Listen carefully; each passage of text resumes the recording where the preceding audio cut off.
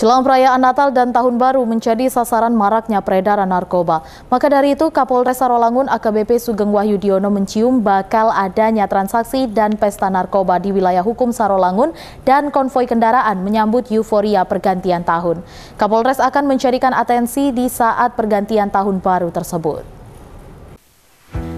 Menyambut perayaan malam pergantian tahun baru 2022 di Kabupaten Sarolangun, euforia masyarakat dalam menyambut malam tahun baru menjadi atensi khusus Kapolres Sarolangun dalam mengintai peredaran narkotika serta pesta narkoba yang bisa saja dilakukan di kalangan muda warga Sarolangun. Pergerakan bakal adanya transaksi dan pesta narkoba telah tercium pihak kepolisian. Selain peredaran narkoba, polisi memprediksi atraksi konvoi kendaraan akan memadati jalur lintas Sarolangun dan berdampak pada terganggunya aktivitas warga sebagai pengguna jalan raya. AKBP Sugeng Wahyudiono akan menjadikan kedua hal tersebut sebagai atensi dalam menyambut pergantian malam tahun baru. Namun Kapolres tidak menyebutkan di mana saja daerah khusus yang akan dijadikan atensi pengintaian pihak kepolisian.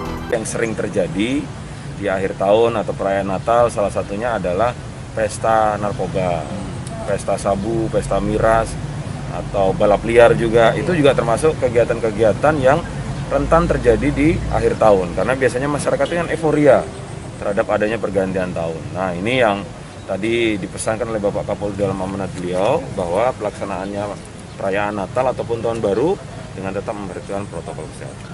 Selain itu, Kapolres berharap dukungan warga Sarolangun untuk segera memberitahukan informasi bila diketahui akan adanya transaksi dan pesta narkoba, sehingga polisi akan segera menindaklanjutinya.